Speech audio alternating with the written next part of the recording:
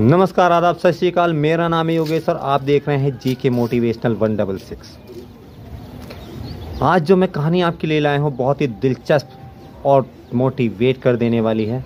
बस आपको शुरू से लेकर आखिर तक देखना है और गौर से सुनना है। पुराने समय की बात है, एक लड़का था, वो सेठ जी के यहाँ नौकरी किया करता था।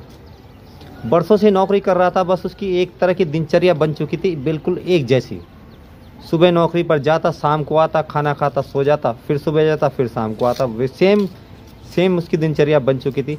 जीवन उसका नीरस हो गया था और उसके मन के अंदर कहीं ना कहीं इसी बात को लेकर एक बेचैनी मच गई। और बेचैनी इतनी ज़्यादा होने लगी कि समझ नहीं पा रहा था कि आखिरकार वो करे तो क्या करे। जीवन में कोई प्रोग्रेस थी नहीं। सेम लाइफ चलती जा रही थी। अब एक दिन वो अपने काम से लौटकर वापस जब आया, घर में खाना बनाया, उसने चार चपातियाँ बनाई, साथ में सब्ज़ी भी थी। अब चपातियाँ बना कर रखी, किसी काम में व्यस्त हो गया। उधर से जब लौट कर आया तो आकर देखता है, चार की जगह सिर्फ़ उसको तीन ही चपाती मिलती है। उसने सोचा, हो सकता है कि शायद मैं भूल गया हूँ गिनती करना, या ऐसा भी हो सकता है कि कोई चूहा उसको लेकर के चला गया हो। उसने ज़्यादा गौर नहीं की, जो भी बची थी खाया और खा कर सो गया। अगले दिन फिर वही अगले दिन उसने फिर चार चपाती बनाई। वो फिर किसी काम में लग गया, उसके बाद आकर देखता है तो उसको सिर्फ़ तीन ही चपाती मिलती है। उसके मन में पक्का आ ही गया कि कहीं ना कहीं कोई चूहा है। गिनती में गलती दो बार नहीं हो सकती, कोई चूहा है जो उसको लेकर के जा रहा है। उसने सोचा, यार चलो जाने दो, मैं तो वैसे ही परेशान चल रहा हूँ, उसको मिल गई, चलो वही सही। मेरे पास जो बची, मैं उसका खा के सो जाऊँगा। अब तीसरे दिन भी उसने चार चपातियाँ बना कर रखी मगर आज उसका ध्यान सिर्फ़ चपातियों के ऊपर था। कुछ भी हो जाए, उसने सोच लिया था कि आज मैं चूहे को तो छोड़ने वाला हूँ नहीं। अब जैसे ही चूहा आया, आने के बाद उसने चपाती पकड़ी थी। पीछे से उस लड़के ने चूहे को पकड़ लिया। चूहे ने कहा, भाई, मुझे ले जाने दे, बहुत तेज भूख लग रही है। चार रोटी हैं तेरी, चार में से एक लेकर जा रहा हूँ, तीन से तू गुजारा कर ले। उसने कहा, भाई, मैं कैसे, जैसे तैसे करके चार रोटियाँ बनाता हूँ तो डेली लेकर चले जा रहा है और मैं भूखे रह जा रहा हूँ। और वैसे ही यार मैं बहुत परेशान हूँ, मुझे परेशान मत कर, मेरी जो चपाती है भाई मुझे वापस कर दे। चूहे ने कहा, यार, तू मानेगा नहीं। उसने कहा अच्छा ये बता मुझे कि तू इतना परेशान क्यों है? उसने अपनी सारी बातें चूहे से बताई। चूहे ने कहा, भाई, तेरी लाइफ की जितनी भी प्रॉब्लम्स हैं, उनके जो जवाब हैं, वो सिर्फ़ इस संसार में एक ही व्यक्ति दे सकता है। उसने कहा, वो कौन है? कहा, वे हैं गौतम बुद्ध। तुम उनके पास जाओ और जो भी तुम्हारे सवाल है, उनसे कहना, तुम्हें तुम्हारे सारे सवालों के जवाब वही दे सकते हैं। अब सुबह हुई, लड़का सीधे सेठ जी के पास पहुँचा। लड़के ने कहा, सेठ जी, मुझे कुछ दिनों की छुट्टी चाहिए। सेठ जी ने पूछा, भाई, क्या हुआ? सब कुछ ठीक ठाक है ना? हाँ सब कुछ ठीक ठाक है। बस कहीं घूमने जाना है। हफ़्ते भर की छुट्टी ले ली सेठ जी से और सीधे निकल गया। चलते चलते सुबह से शाम हो गई, शाम से हो गई रात। अभी गौतम बुद्ध का जो कहीं आश्रम था, बहुत ही दूर था मतलब उसकी समझ में नहीं आ रहा था कि कहाँ है, कुछ अता पता नहीं चल रहा था। जब रात हो गई, घनघोर अंधेरा तो सामने दूर एक हवेली दिखाई दी। उसने सोचा, यार, रात को यहाँ रुकता हूँ, सुबह के समय फिर स्टार्ट करूँगा। हवेली में पहुँच जाता है तो वहाँ एक वृद्ध महिला मिलती है उसको। खाना दिया, पानी दिया, बातचीत हुई तो महिला ने कहा, बेटा, कहाँ जा रहे हो? उसने कहा माता जी मैं जा रहा हूँ गौतम बुद्ध के पास। मेरे मन के अंदर कुछ सवाल है, वही उनसे मैं पूछने जा रहा हूँ।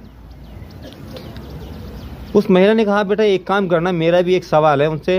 अगर हो सके जवाब देते हैं तो उनसे ज़रूर पूछ लेना। उसने कहा, बताओ माता जी क्या सवाल है? कि मेरी एक लड़की है, बीस साल की हो चुकी है और बचपन से अभी तक वो एक भी शब्द नहीं बोली है। उनसे बस ये पूछ लेना कि ये जो मेरी लड़की है, कब बोलेगी? कि ठीक है माता जी मैं तो जा रहा हूँ। एक सवाल और सही उनसे पूछ लूँगा। उधर से वापसी में मैं आकर बताता हूँ आपको। उसने कहा, ठीक है, सुबह हुई। वो अपना चल पड़ा। अब चलते चलते पहाड़ आ गए। अब जैसे ही उसने कदम बढ़ाया तो सामने उसके एक जादूगर बैठा था, जो तपस्या कर रहा था। उस जादूगर ने उसको रोक लिया।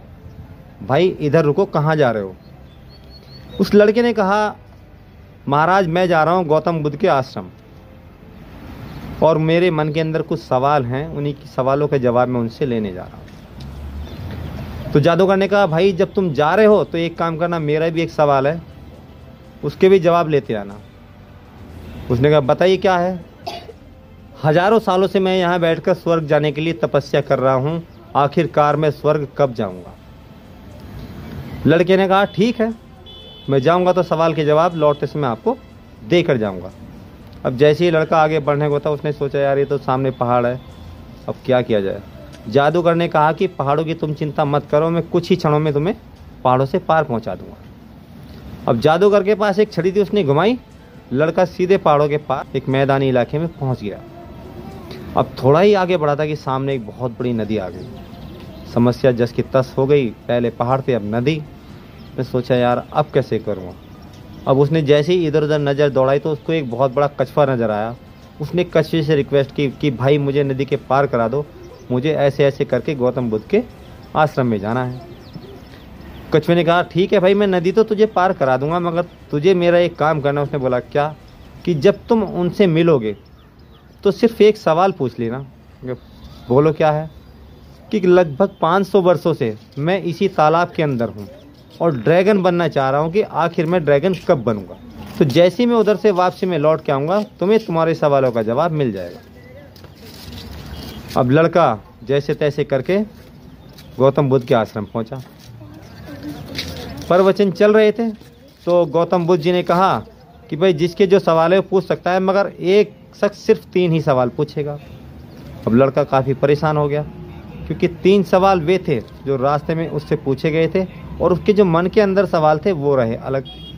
और वो डिसाइड नहीं कर पा रहा था कि आखिरकार कौन से सवालों के मैं जवाब पूछूँ। अगर मैं अपने पूछता हूँ तो उन तीनों के रह जाते हैं।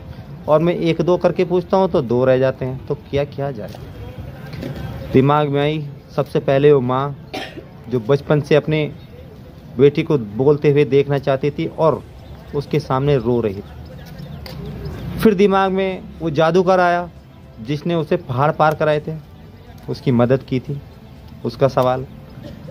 फिर उसके बाद वो कछुआ भी दिमाग में आया। उसने भी तालाब पार कराया था। उसने सोचा, आखिरकार इन तीनों में से किसके सवाल का मैं जवाब लूँ इनसे और किसका छोड़ूँ? जब समझ में नहीं आया तो सोचा, यार, एक काम करता हूँ, इन तीनों के ही सवालों के जवाब ले लेता हूँ। मेरा तो जैसा चल रहा था, चल ही रहा था। थोड़ा और कोशिश करूँगा तो और अच्छे से जी पाऊँगा। तो जब उसका नंबर आया तो उसने बुद्ध जी से पूछा कि मेरे तीन सवाल हैं और तीनों के जवाब मुझे चाहिए। तो बुद्ध जी ने कहा कि पहले सवाल का जो आंसर है, उस माता से कहना कि जिस दिन इस लड़की की शादी हो जाएगी, वो लड़की उसी दिन बोलने लगेगी। और दूसरे सवाल का जो आंसर है, उस जादूगर से कहना वो जो छड़ी है, जिस दिन त्याग कर देगा उस छड़ी का, उसी दिन वो स्वर्गलोक चला जाएगा। और तीसरा सवाल जो उस कछुए ने पूछा था, उससे कहना, ये जो कवच तूने पहना है, जिस दिन तू इस कवच को छोड़ देगा, उसी दिन ड्रैगन बन जाएगा। अब वापसी में आते समय सबसे पहले कछुआ पड़ा। कछुए ने कहा हाँ भाई, मेरे सवाल का जवाब कि बुद्ध जी ने ये कहा है, जिस दिन तुम अपने इस कवर को छोड़ दोगे, इस खोल को छोड़ दोगे उसी दिन तुम ड्रैगन बन जाओ ठीक है? उसने जैसे ही उस खोल को छोड़ा तो उसमें से हीरे मोती निकले, बहुत सारे। ने कहा, यार, मैं इसका क्या करूँगा तू ही रख ले भाई, उस लड़की को दे दिए। अब दूसरा जैसे उधर से आया तो वो जादूगर मिला। ने कहा हाँ भाई, मेरे सवाल का जवाब क्या लेकर आया है? कि बुद्ध जी ने ये बोला है कि जिस दिन तुमने ये छड़ी छोड़ दी, उस दिन तुम स्वर्गलोक चले जाओगे।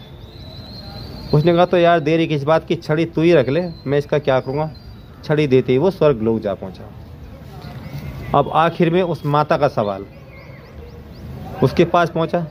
उसने कहा बेटा, मेरे सवाल का जवाब लाए हो? कि हाँ माता जी बुद्ध जी ने ये बोला है कि जिस दिन इस लड़की की शादी हो जाएगी, उसी दिन से बोलना शुरू कर देगी। तो बेटा, देर किस बात की है? तुमसे अच्छा लड़का कहाँ मिलेगा इसको? उसकी माता ने उन दोनों की शादी करा दी। उसके बाद जब पहली बार वो लड़की बोली तो उसने कहा कि आप तो वही हो जो उस दिन हमारे यहाँ रात को आए थे। ये सुनकर वो लड़का और उसकी माता बहुत खुश हुई।